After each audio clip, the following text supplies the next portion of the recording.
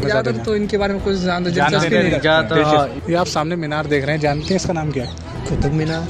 नहीं नहीं ये वो तो कुतुब मीनार पे ये रही। इसका नाम तो नहीं पता। इसका नाम नहीं पता। इस चीज़ों के बारे में कभी बताया नहीं गया ना। ना सुना ना पढ़ा कहीं किसी बुक में नहीं लिखा हुआ। हम्म, कुतुबुद्दीन ऐबक ने पढ़े वो तो कुतुब मीनार बनवाई थी। अलाई मीनार किसने? इसका आइडिया नहीं मुझे अलादीन खिलजी जो था वो चाहते थे कि मीनार कुतुब मीनार से मैं डबल बनवाऊँ। डबल बनवाऊँ। बट वो बना नहीं पाए। तो उसकी मृत्यु के बाद में कुछ ऐसा समय आया कि उनके कारीगर वगैरह है। वो यहाँ से चले गए। बेटो काम तो करे को नहीं दो पीस संगो और लोन लियो सात लाख को। केकरे रही तारी बेवा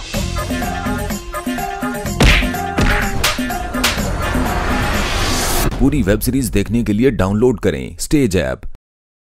दिल्ली में मौजूद कुतुब मीनार तो आप सभी लोगों ने देखा और सुना होगा। इस कुतुब मीनार को देखने के लिए देश विदेश से हज़ारों लोग यहाँ आते हैं। लेकिन इसी कुतुब मीनार के अंदर एक ऐसी मीनार भी है, जिसे लोग ज़्यादा जानते नहीं हैं। उसे देखते तो हैं, लेकिन उसका इतिहास, वो कब बनी, क्यों बनी, किसने बनवाई, इन सभी की जानकारी नहीं रखते। मैं बात कर रहा हूँ अलाई मीनार की। ये सिर्फ़ एक मंजिला इमारत आप यहाँ से देख सकते हैं, बनी हुई है। साल 2018 में आई फ़िल्म पद्मावत तो आप सभी को याद होगी। उसमें रणवीर सिंह ने अलाउद्दीन खिलजी का किरदार निभाया था। ये वही अलाउद्दीन खिलजी है जिसने इस मीनार को बनवाने का फैसला लिया था। अलाउद्दीन खिलजी दिल्ली के, खिलजी सल्तनत वंश का दूसरा शासक था। उसका साम्राज्य अफ़गानिस्तान से लेकर भारत के उत्तर मध्य तक फैला हुआ था। बात करते हैं सबसे पहले कुतुब मीनार की। ग्यारह सौ निन्यानवे में कुतुब मीनार का निर्माण कुतुबुद्दीन ऐबक ने शुरू करवाया था। पर अफसोस तो ये निर्माण पूरा होने से पहले ही उनकी मृत्यु हो गई।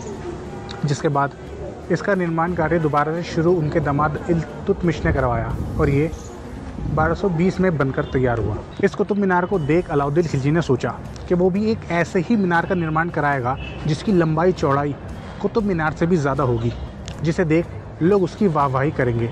ठीक उसी तरह, जिस तरह उसके साम्राज्य को देख बाकी साम्राज्य के लोग करते थे कि अलाउद्दीन खिलजी ने काफ़ी कम वक्त में ही इतना बड़ा साम्राज्य अपना नाम कर लिया। इसके बाद अलाउद्दीन खिलजी ने अपने सेनापति मलिक कफूर को बुलाया और इस तरह के निर्माण कराने की एक ज़िम्मेदारी दी। हालाँकि मलिक कफूर एक लड़ाकू व्यक्ति था। उसे निर्माण कराने की कोई भी तजुर्बा नहीं था। जितने लोगों को भी इकट्ठा किया, वो सभी इस काम के जानकार नहीं थे।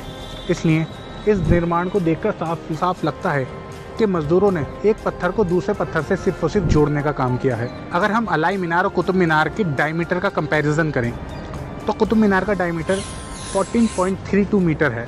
तो वहीं अलाई मीनार का 12.19 मीटर है। यानी इससे साफ़ साफ़ पता चलता है कि अगर को अलाई मीनार को कुतुब मीनार से ज़्यादा ऊँचा और बड़ा बनाना था तो अलाई मीनार की डायमीटर को बड़ा रखना था। और इस बात की समझ उस वक्त के कारीगरों को नहीं थी। यानी अगर ये निर्माण हो भी जाता, यानी पूरा निर्माण हो भी जाता, तब भी अलाई मीनार के पूरे पूरे गिरने के चांसेस बने हुए थे। क्योंकि इसकी जो नींव रखी जाती है, वो नींव भी काफ़ी कमज़ोर रखी गई है। इस मीनार का निर्माण इतनी हल्की गति से किया जा रहा था कि जब 1316 में अलाउद्दीन खिलजी की मौत हुई तो ये मीनार महज 24.5 मीटर तक ही बन पाई। उसके बाद उनके किसी भी उत्तराधिकारी ने इस मीनार को पूरा कराने के लिए या फिर पूरा बनवाने के लिए कोई दिलचस्पी नहीं दिखाई। इसलिए जब से लेके आज तक ये हम सभी लोगों के सामने इसी तरह से है, जो सिर्फ़ और सिर्फ़ एक इतिहास के पन्नों में या फिर मैं कहूँ, इतिहास के पन्नों के साथ साथ हमारे सामने कुतुब मीनार के कॉम्प्लेक्स में खड़ी हुई है। आप देख सकते हैं, ये मीनार मेरे इस वक्त सामने है। और ठीक उसके पीछे ही कुतुब मीनार है। यहाँ अंदर जाने की इजाज़त नहीं है, ये चैन से सिस्टम लगा रखा है, गार्ड भी मौजूद हैं।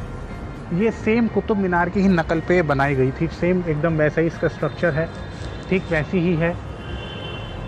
एक मंजिला बनी हुई है, हालात इसकी बहुत ज़्यादा ख़राब है, यानी इसका रख रखाव भी नहीं किया जा रहा है ये देखने से साफ़ पता चल रही है।